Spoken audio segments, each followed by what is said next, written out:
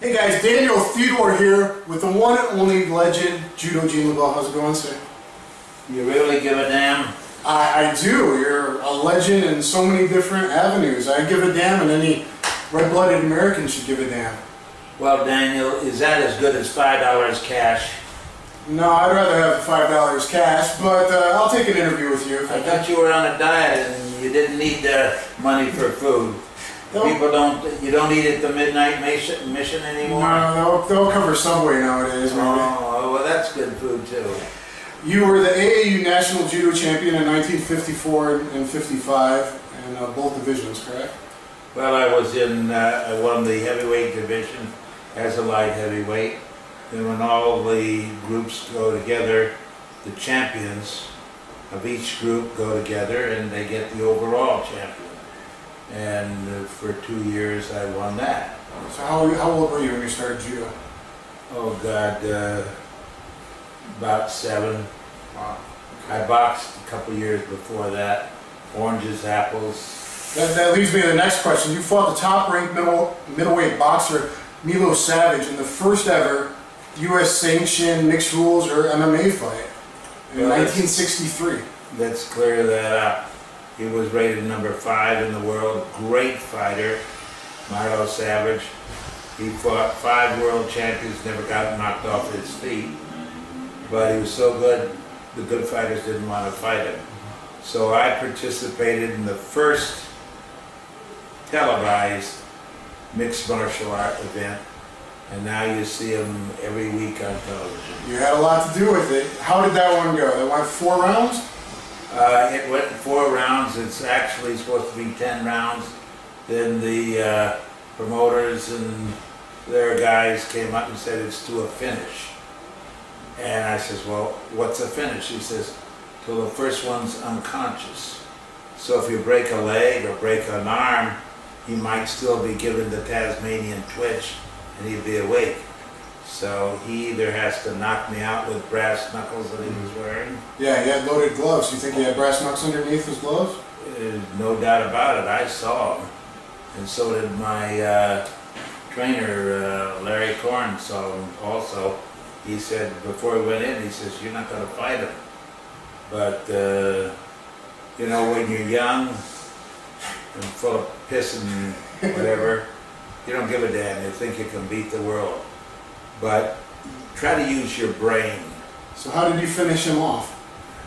Well, you can buy the movie, uh, it's only like 20 bucks, at genelebell.com, G-E-N-E, L-E-B-E-L-L dot com. And pick up his book, uh, you know, a, th- a thousand submit encyclopedia to a thousand submission holds while you're there too. Won't And be you, can, and you can see who won the, the fight, and uh, it was spectacular. It's 1963. This is this is 30 years exactly before the first UFC in America. That's being a trailblazer.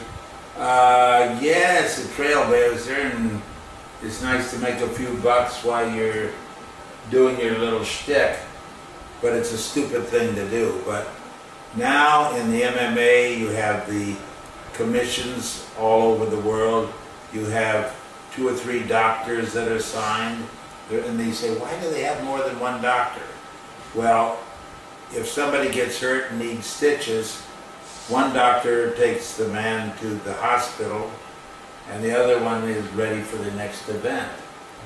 And uh, so uh, nowadays, under the sanction of the athletic commissions, it's very professional and is, they're very safety conscious. You also worked a lot of matches as a pro pro wrestler. You ran the NWA for many many years in the LA area, correct? Uh, I wrestled pro for many years. My family had an auditorium called the Olympic Auditorium for 38 years.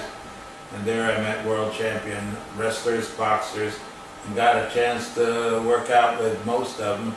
It was a great learning experience. You learned a lot of holds from from that kind of background. Oh yeah, Show- everybody. show holds and, and real. Yeah, but everything with the wrestlers I worked with, like Karl Gotch, Lou Thesz, Vic Christie, they were all the real thing.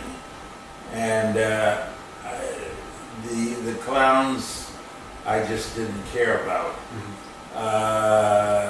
Because they're all short-lived and they get a hurt a lot because they can't really wrestle that well. They might have dyed hair and long hair and walk like a fruitcake, but uh, Gorgeous George action. well, Gorgeous George He liked him though, he was a good show. was George Wheeler, and uh, my mother Aileen Eaton, who was the promoter at the Olympic for 38 years and had the auditorium. He uh, got him started as a uh, cartoon figure.